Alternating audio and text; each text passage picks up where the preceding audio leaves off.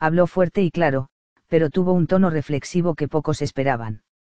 Laura Bozo dijo a Amor, Amor, Amor que su relación de más de 17 años con Cristian Suárez no ha llegado a su fin, tras conocer en la víspera que el argentino tenía un romance de dos años con la empresaria Adriana Amiel, de 50 años, que vive en Miami.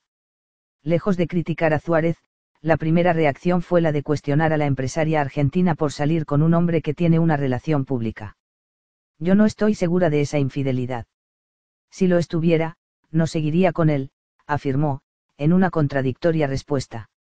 La conductora fue enfática en señalar que Cristian Suárez puede ser feliz y, sigue viviendo en su casa. Entonces. Según dijo, todavía aguarda conversar con él antes de tomar una decisión.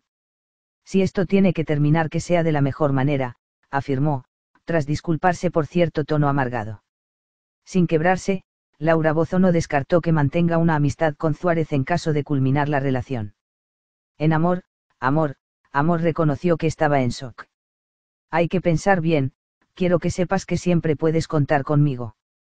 Esta fue, según Laura, la última frase que cruzó con el argentino. Para finalizar la entrevista, Bozo dijo que era un momento duro y reveló que no se casó con Suárez porque no tenía la seguridad absoluta de su amor.